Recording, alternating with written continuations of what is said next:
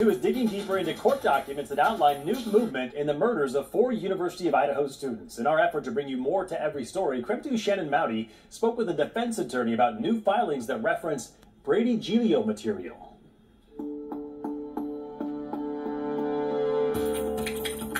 New filings in the Moscow murder case show prosecutors have found and are now sharing with the defense possible Brady Giglio material now have found and are now sharing with the defense possible Brady Giglio material.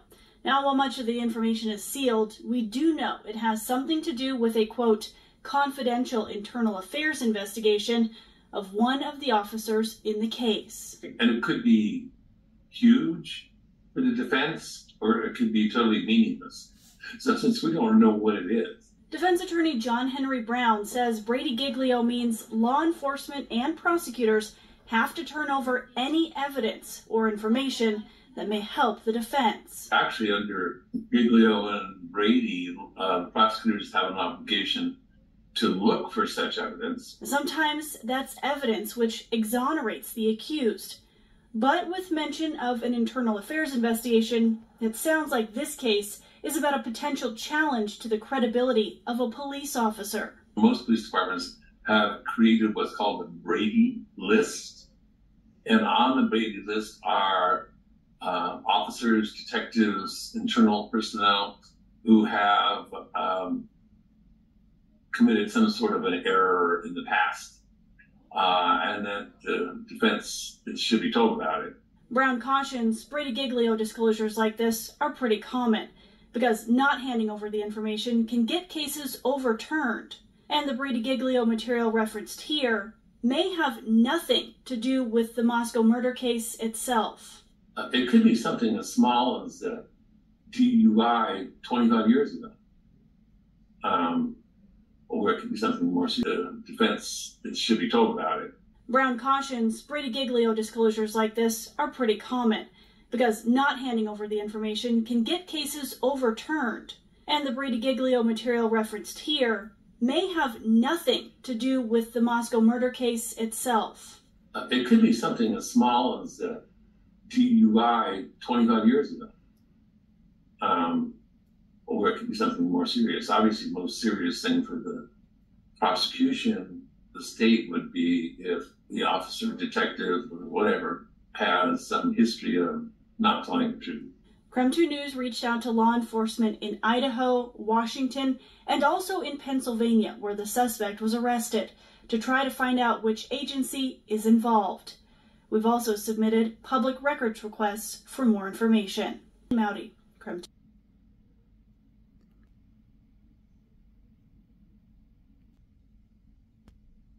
I'm Brian Enterman for Dan Abrams tonight. He is on vacation this week. Thanks a lot, Chris. We're going to continue to cover this breaking news, these documents that just came out uh, right before the show in the case of Brian Kohberger, the suspected Idaho student killer, revealing what could actually be a major problem for prosecutors. Possible misconduct on the part of an officer involved in the case. That was revealed uh, during an internal affairs investigation and could involve information that could actually help the defense. In a notice filed to the court on Monday and released just a little more than an hour ago, state prosecutors have now notified the court that, quote, the state has become aware of potential Brady Giglio material related to one of the officers involved in the above referenced case. That material in the form of confidential internal affairs investigation.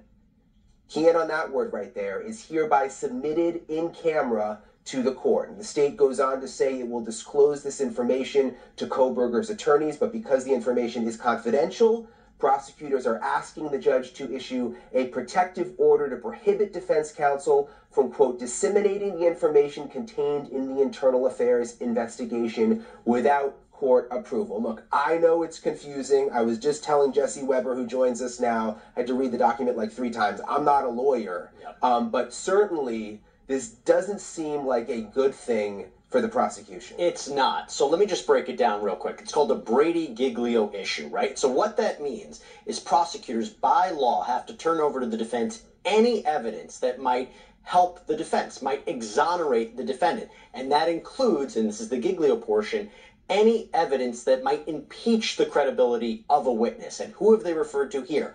A police officer uh, as part of an internal affairs investigation. So, what could this be? What's the worst case? Let's say this was an officer that provided an affidavit in support of a search warrant for key evidence in this case. If that officer lied as a part of that affidavit, if this officer withheld information as a part of that affidavit, the, potentially this evidence could be thrown out. This is a big problem for the prosecution. Now, I heard Dave Aronberg on Cuomo show. This could also be something different. This could be something personal about the officer. But by law, they'll have to disclose it because let's say here's a different example. An officer maybe had a pattern of misconduct. Maybe it wasn't directly related to the Kohberger investigation.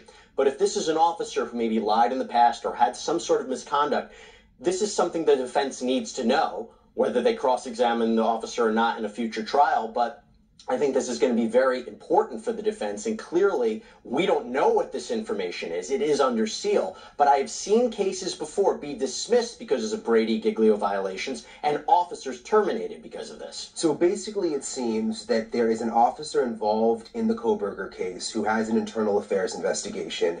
The prosecution has now decided we need to make this, um, we need to make the defense aware of it. Is it possible the prosecution is just thinking, look, this is a huge case. We want to be as careful as possible. This isn't a big deal, but let's let's do this anyway? Or does this mean that it's actually something significant? They, by law, have to turn over anything that might, feet, might meet that criteria. So they are doing their job.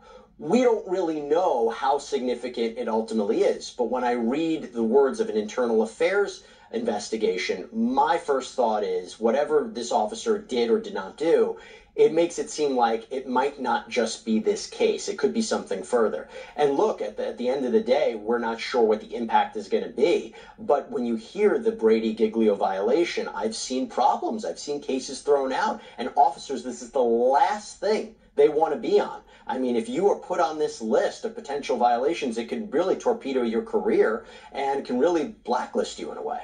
So, is it possible that we'll figure out what all of this means? Because there's the gag order in place. With this whole situation in case, we've been having to piece together puzzle pieces because there's so much redacted every time they release something.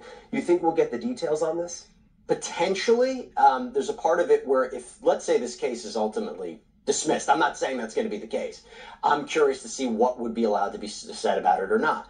Then again, if this officer, and if evidence is thrown out, that's a separate question. But if this officer, whoever it is, makes it to a trial, they can be cross-examined about this material, and maybe eventually we would learn what it could be. It's going to be interesting. Jesse, you were at dinner. We called you. Oh my gosh, there was a document dump. It's important. come back to the state. You know, come back over here. Help us understand it. You did. We appreciate you coming. Up.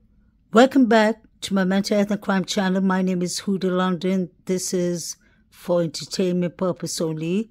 May the victims rest in peace. This is the case of the Idaho Moscow quadruple murders. There's a Brady Giglio material of an officer, in this case, who's who has been or who is still under investigations by the Internal Affairs. The question is, would this exonerate Brian Christopher Kohberger what is the officer's record like? Because it's serious to be under internal affairs, I believe. The question is Is this officer reliable to have been taking evidence or taking witness statements in this case? The sad thing is, everything is on a gag order.